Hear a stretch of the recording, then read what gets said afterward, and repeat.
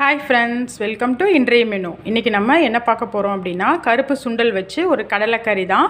அது எப்படி செய்யலான்னு பார்க்கலாம். அதுக்கு வந்து ஃபஸ்ட்டு மசால் வந்து அதுக்கு என்னென்ன தேவையோ அதெல்லாம் வறுத்து எடுத்துக்கலாம். நான் வந்து இப்போ ஒரு பேனை வந்துட்டு சூடு பண்ண வச்சுருக்கேன். இப்போ வந்து அதில் வந்து தேங்காய் எண்ணெய் வந்து சேர்த்துக்க போகிறேன் இந்த கடலைக்கறி தேங்காய் செஞ்சிங்கன்னா ரொம்ப இஷ்டாக இருக்கும். இப்போ வந்து தேங்காய் எண்ணெயை அதில் ஊற்றிக்கலாம் நான் வந்து ஒரு ரெண்டு டேபிள் ஸ்பூன் அளவுக்கு தேங்காய் எண்ணெய் ஊற்றிக்கிறேன்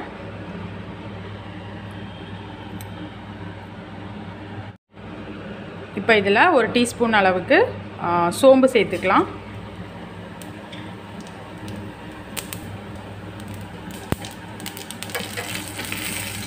அப்புறமா ஒரு நாலஞ்சு பல்லு ஒரு சின்ன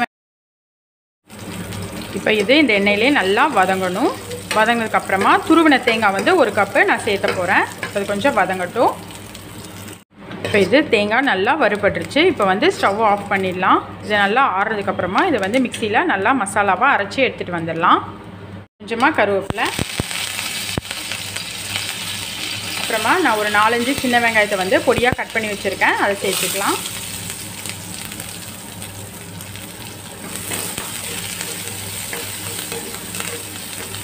நல்லா வதங்கட்டும். இது குட்டி குட்டியாக கட் பண்ணி வச்சுருக்கேன். அதையும் சேர்த்துக்கலாம். இது ரெண்டும் நல்லா வதங்கட்டும். மிளகாத்தூள் ஒரு டேபிள் ஸ்பூன் அளவுக்கு மட்டன் மசாலா சேர்த்துறேன். இப்போ இது எல்லாத்தையும் நல்லா வதக்கி விட்டுடலாம். இப்போ இதில் நான் ஒரு கப் வந்து கருப்பு கொண்டக்கடலையை நல்லா வேக வச்சு வச்சுருக்கேன். அது வந்து தண்ணியோடு இதில் சேர்த்துட்டேன். நான் வந்து உப்பு போட்டு தான் வேக வச்சேன். அதனால் இப்போ வந்து உப்பு சேர்த்தலை. அப்புறம் வேணும்னா சேர்த்துக்கலாம். கொஞ்சம் நேரம் நல்லா கொதிக்கட்டும். இப்போது நல்லா கொதிச்சிருச்சு குழம்பு. பச்சை வாசம்லாம் போயிடுச்சு மசாலாவோட பச்சை வாசம். இப்போ வந்து நம்ம அரைச்சி வச்சுருக்க அந்த தேங்காவை இதில் சேர்த்துக்கலாம்.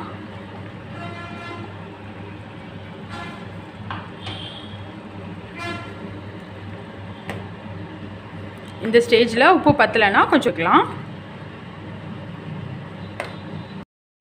கொஞ்சமாக நான் தண்ணி சேர்த்துக்கிறேன்.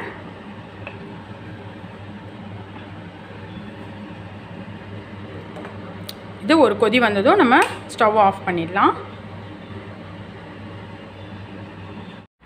இப்போ நான் கொஞ்சமாக கொத்தமல்லி எல்லாம் போடுறேன்.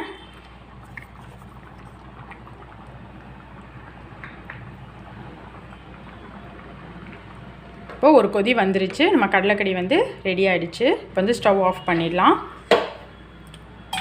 இந்த கடலைக்கறி வந்துட்டு புட்டு கூட ரொம்ப சூப்பராக இருக்கும். இல்லைன்னா ஆப்பம் இடியாப்பத்துக்கும் ரொம்ப நல்லாயிருக்கும். இட்லி தோசைக்கும் நல்லாயிருக்கும். நீங்களும் வீட்டில் ட்ரை பண்ணி பாருங்கள் பார்த்துட்டு எப்படி இருக்குன்னு கமெண்ட் பண்ணுங்கள் இந்த வீடியோ பிடிச்சிருந்துச்சுன்னா இன்றைய மினி சேனலை சப்ஸ்கிரைப் பண்ணிக்கோங்க. பக்கத்தில் இருக்க பெல் ஐக்கான் கிளிக் பண்ணிக்கோங்க. அப்போ தான் நான் அப்லோட் பண்ணுற வீடியோஸ் உங்களுக்கு நோட்டிஃபிகேஷனில் வரும். தேங்க்யூ ஃப்ரெண்ட்ஸ் தேங்க்யூ ஃபார் வாட்சிங் அவர் சேனல்